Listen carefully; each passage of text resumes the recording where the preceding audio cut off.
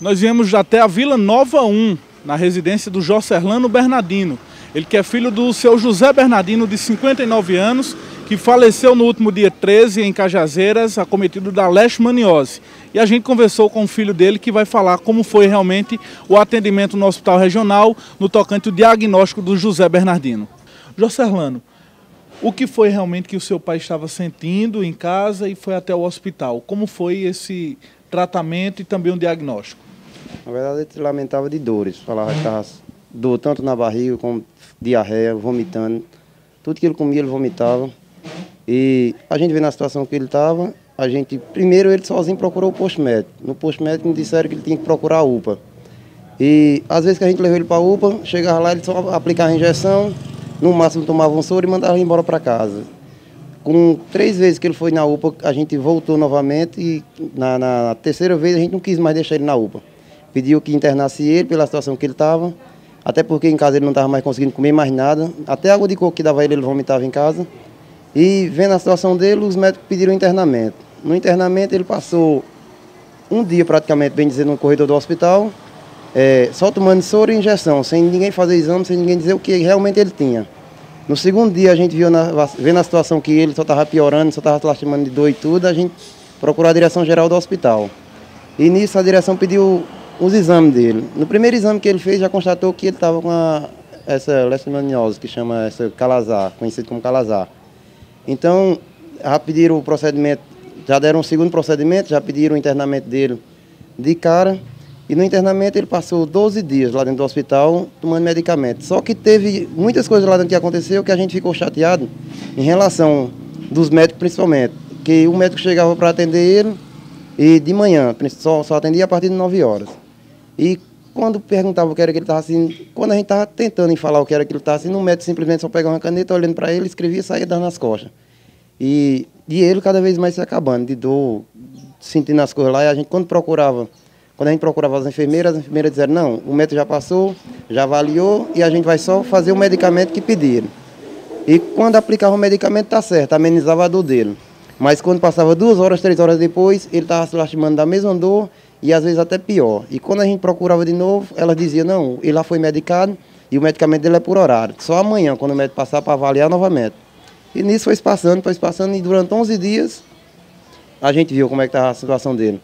Inclusive, quando foi, a gente pedia mais exame, a gente pedia mais atenção para ele devido à situação que ele se encontrava, e nada, nada era tomado em relação a isso. Muito pelo contrário, às vezes as, as enfermeiras até agia com, com, com a gente com, com, com, ignorância, com, achando que a gente não tinha o direito de perguntar, porque a situação que ele estava não tinha um procedimento, não tinha acompanhamento médico. E no tocante à leishmaniose, você, a família, existe essa possibilidade de saber onde é realmente que o mosquito estava, se na residência dele ou até mesmo em outro local e ele foi infectado? Não, não teve. A gente não chegou a ter acesso não, até porque, como eu falei, ele tinha, criava um cachorro, que realmente o cachorro também faleceu, mas é, a gente não sabe dizer a verdade se foi o cachorro que.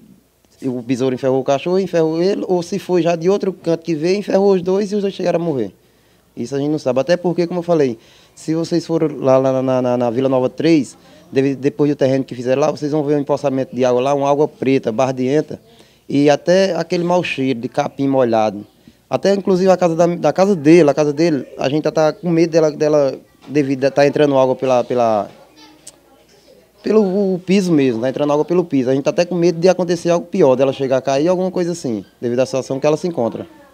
Nós saímos da Vila Nova 1 e viemos aqui ao lado do Jocerlano Bernardino até a Vila Nova 3, para entendermos e localizarmos aqui a residência do seu José Bernardino, que faleceu de leishmaniose no último dia 13 aqui na cidade de Cajazeiras. E realmente uma precariedade a residência, não é isso, seu Jocerlano? Isso, a situação aqui está precária mesmo, está precisando de ajuda, seja lá de quem for, das autoridades, prefeito, seja lá como for. A gente está precisando de ajuda. A gente pede às autoridades que tomem providência em relação a isso, porque para não ter mais outra vítima, em relação à, situação que a gente se encontra no muro da, no muro da, da, da, casa do meu pai, que praticamente não é mais muro, agora é açude. Já sangrou até duas vezes, e o pior é que só sangrou para dentro de casa, acabando com móvel, acabando com tudo. Sem contar as doenças que a gente se encontra no momento aqui. Você teme que, é, além da leishmaniose, outras doenças, até mesmo a dengue, a zika, enfim, o mosquito transmissor dessas doenças possa estar residindo e fazendo é, várias vítimas aqui. Com certeza, com certeza. A gente está olhando a situação que se encontra aqui, até a casa mesmo ela está em condições de risco, porque ela pode cair, pode até chegar a cair em relação a isso, devido a tanto aguaceiro na sapada da casa. Qual o apelo você faz? A gente pede que é, as autoridades tomem alguma providência em relação a isso. Só não deixa acontecer com outra pessoa o que aconteceu com meu pai. Não é só da minha, da minha família, não. De qualquer outro tipo de família. Ninguém quer, quer ver um familiar seu se encontrar como eu encontrei meu pai, não. Aí chegar a situação que ele chegou, não. Principalmente se ele chegasse a esse internado. Você vê que não é fácil, não é fácil. Hoje em dia já está difícil para você sobreviver, imagine com doença na família. Estamos no núcleo de zoonoses do município de Cajazeiras para falar com Isabela Cartacho, ela que é coordenadora e que irá falar sobre o primeiro registro de caso de morte por leishmaniose na cidade. Isabela Cartacho, como o núcleo de zoonoses do município recebeu a informação de, uma, de um óbito devido à leishmaniose, segundo o diagnóstico do Hospital Regional? Olha, nós sempre recebemos os resultados do Hospital Regional, que é o o hospital que faz responsável para a realização de todos os exames, tanto de leishmaniose é, visceral como leishmaniose tegumentar. Então, quando tem, esse, quando tem algum paciente, eles ligam para a gente, para o núcleo de zoonose. E nisso aí a gente faz, começa a fazer um trabalho na área. Esse paciente é tratado aqui no hospital regional pelo, pelo e acompanhado por Dr. Rodolfo, que ele é infectologista, e nós, do núcleo de zoonose, ficamos responsáveis pelo bloqueio da área. O que é o bloqueio da área? Então, o Ministério da Saúde ele preconiza que no, na área onde estiver, onde tiver um caso humano, a equipe se desloque até lá, faça a coleta de sangue casa a casa de todos os cães da área, né, e leve ao laboratório. Esse laboratório aqui é feito uma triagem. Essa triagem, é, se positivo, ele vai para João Pessoa para fazer realmente a sorologia. O que é negativo é negativo. Agora, o que é positivo, ele vai para João Pessoa para ter a contraprova. Depois que a gente termina o inquérito canino, nós realizamos o, o inquérito, o, a borrifação da área. A borrifação da área. O pessoal vai com a, com a bomba costal, fazendo a pulverização de toda a área.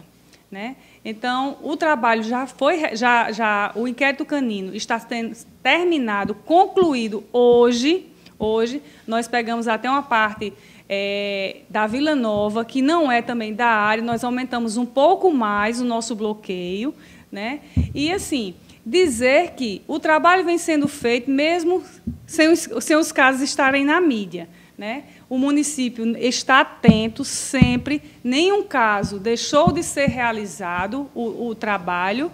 Né? Infelizmente, ocorreu o óbito, devido, com certeza, de uma reação adversa da medicação. A medicação ela é forte, então deve ter dado alguma reação adversa que o paciente não resistiu e veio a óbito.